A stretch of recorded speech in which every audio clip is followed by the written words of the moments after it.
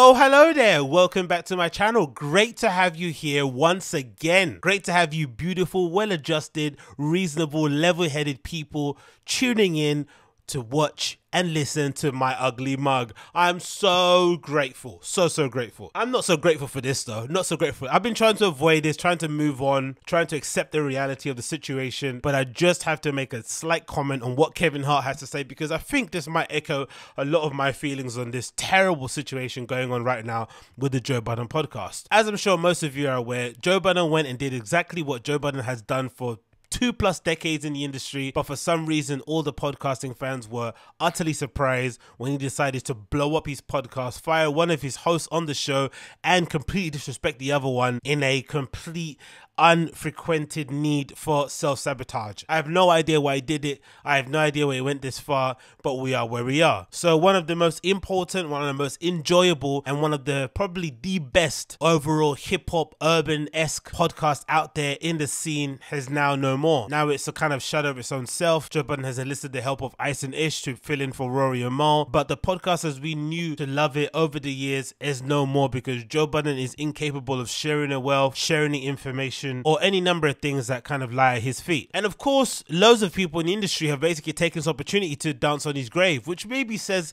a lot about how he conducted himself in the scene as opposed to the quality of the show. I think Joe's abrasive personality, his need to be right, his need to speak about everything and anything that happens in hip hop, and sometimes it's better maybe just to avoid the things and sidestep it, has maybe led him to develop more enemies than he actually is aware of. And one of those enemies who I completely forgot about was Kevin Hart. If you're a big listener of the, or if you're a long time listener or a long time fan of the Joe Budden podcast, you would have known that Joe Budden had a little weird sort of tete a tete and a little bit of a grudge against Kevin Hart in the same way he did against Will Smith. No idea what basically started the beef, but whenever it was announced that Kevin Hart had a new deal with some big broadcasting company or he was involved in some public scandal, whether it's him crashing a car or being involved in a car accident or him cheating on his wife, whatever it was, he always took the route of being extra spicy and extra rude for no apparent reason. Now, for us podcasting fans, it was quite funny to see him kind of poke at somebody like Kevin Hart, considering how big he is, but also considering how nice of a dude Kevin Hart comes across. It did seem a bit strange at the time, I'm not going to lie. And I guess we had no idea that Kevin Hart actually listened to the Joe Budden podcast. He was actually aware of the show, so much so that it leads me to believe that he probably tuned in week in, week out, because the way he was speaking about it, the way that he had some knowledge of who the guys were and what the situation was, and how he was able to sum summarize it within two to three minutes. But it does lead me to believe that Kevin Hart was maybe a bigger fan of the Joe Budden podcast than it's led to believe. And it wouldn't surprise me if Kevin Hart was a fan of the show prior to Joe actually shitting on him on the show, which is ironic considering how Joe likes to go on as if he's anti-industry when he has the entire industry locked in and tuned into his show. But I guess now they've all completely gone. And Kevin Hart made some really good points regarding everything that's occurred, obviously, with the Joe Budden podcast and basically what's led to its eventual downfall. And I think his point regarding Joe's lack of leadership is something that I've kind of wrestling in my mind ever since they decided to, you know, uh, do away with the Spotify deal and decide to go quote unquote independent. It never really made sense to me why at any moment in time during the inception of the Joe Budden Podcast Network, which I definitely do think was a reaction to what Charlemagne was doing with the Black Effect Network, as opposed to Joe Budden actually went to launch network, or it was a clever tactic for Joe Budden to ensure that next time he was entering into negotiation, he had the opportunity to maybe get a ringer type deal where he could bring two or three or five different shows to the table if he's negotiating with a streaming platform and show that he's able to replicate the success of his show in some meaningful way in other shows. It never really made sense to me why when they started the Joe Budden Podcast Network, there was never really any conversation around bringing somebody in externally to actually manage the running of the network day to day whether that was a CEO, creative director, or a program director, someone to come in and just basically be um, enlisted with running the network day to day and ensuring the shows on there are the best possible product when they are going out. So if there was somebody that they could come along who could really knuckle down and, and decide, hey, maybe actually going forward, the best option is maybe to start a sports show as opposed to doing the two female led shows they've got in the moment. Maybe it's to do a relationship show, maybe a show based on kind of helping uh, up and coming artists, wherever it may be, or just get something that could actually have the overall final authority on how that network actually runs would have actually given it a better better chance of succeeding. And maybe that person coming in, the external person, could have avoided some of the issues that Joe's run into now, where he kind of wants to be the head of the network, but he also wants to be in front of the camera. And to be honest, Kevin Hart summed it up in a really, really succinct way here, which I'm going to play for you and I'm going to give you my thoughts on the other side. Always in the know. Mm. Like there's never there's never a dark a dark circle or a door that can't be opened. Like I think the one thing that we've done very well, and I'll say this on air, you know, I'll give this information for other people that are doing things with their friends, with their brothers, whomever in business. A lot of these relationships get messed up when the relationship and business kind of cross lines. And the one thing that I've always done to try to prevent that to the best of my ability, and I think I've done a great job so far, is give the information. Give the information, give the ins and outs so there's understanding. And if there are questions, we table them as partners, as a group, because no matter what, the machine is our machine. Regardless of my name or not, it's our machine. And I would never make my guys feel as if it wasn't. So for the life of me, this isn't a this isn't a petty moment. This is a real like this is a real vocal moment that I'm just taking the opportunity to make sure I say. This is why I don't get some of the Joe defenders out there, or the Joe Avengers as they like to be known, are basically saying that hey, um, the guys Rory and Mal didn't have any rights to looking at into the books and getting a hold of the accounting and finding out exactly where the money was going and how much was coming in, so that they can get a better idea what their splits would be because essentially they're workers. Cool. Let's, for instance, just say they are just employees. Forget the fact that they have a an agreement with Joe that allows them to be, I think, profit partners, right? So they get a split of the profits that come in via the deal, so you don't get a salary, which it basically incentivizes them to basically work harder and produce a better show, cool, whatever it may be. But let's imagine they were just employees anyway, and let's just say they both started within the early. Let's say they started on the Joe Budden podcast, um, you know, under the hundred episode mark, maybe under fifty, because some people would argue, you know, doing a podcast you don't get good until you do over fifty shows. Wouldn't you say just because they're your friends anyway? Regardless what contracts say, regardless of what the actual positions are, don't you owe your friends some level of transparency just because you started this thing together and now it's become one of the biggest podcasts within your space? Shouldn't you just give them the information just because they're your friends? I never really understood that. But let's continue and what see what Kevin has to say. Does this man be vocal about so much on behalf of me, my career, my moves, and everything? And I don't care. I shut up. I don't give a fuck. Is what it is. You guys know I'm no stranger to negativity. I don't care about that.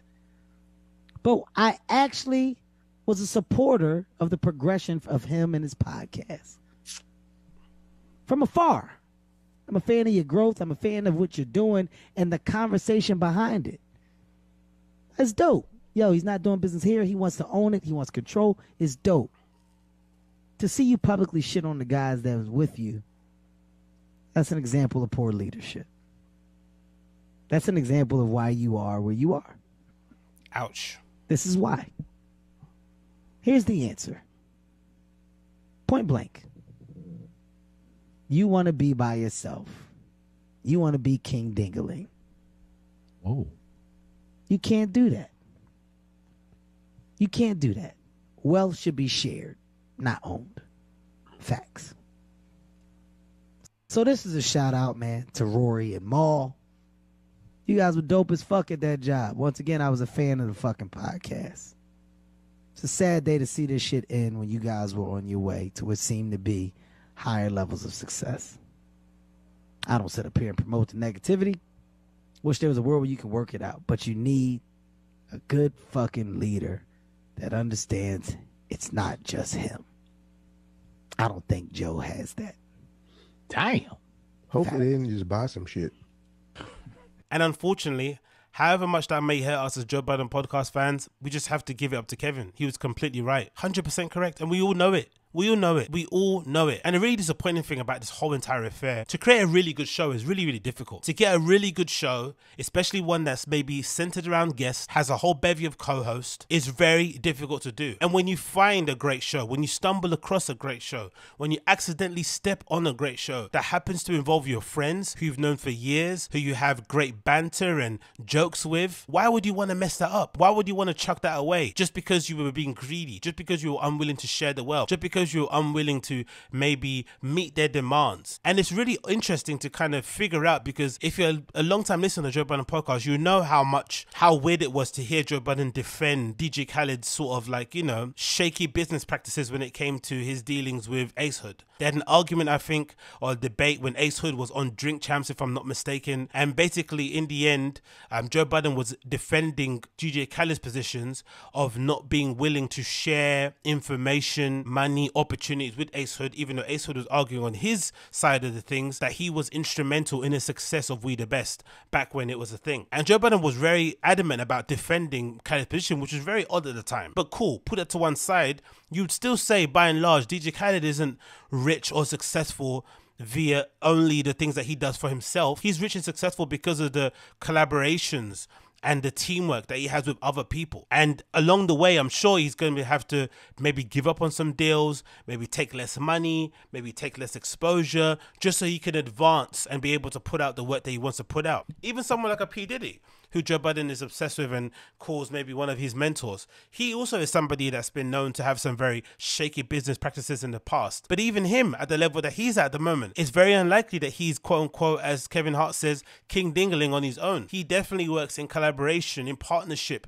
with different people. Just look at what he does with his vodka brand. That isn't even something that he created, it's something that he fronted, and over time, he then got more and more ownership, more and more control, more and more voice, more and more authority in what he does. And now it's one of the biggest, you know, vodka brands out there that exist. So I don't know where Joe got this example or got this image that he has to be the Lone Ranger and he can't get his guys involved. It doesn't make any sense. And like I said, it would make more sense if it was just, you know, random strangers that he got um, in the industry to co-host a show with him. But people that you've known for 10, 20 years and this is how it ends. And maybe it's um, disappointing for me personally because you kind of, again, live vicariously through these podcasts. So you kind of see it similarly to how you would see maybe when you watch Entourage for the first time, right? Every dude kind of wants to have a social circle like that, right? This group of merry men that you kind of known for years and years, and you basically take along the journey with you as you ascertain different levels of success.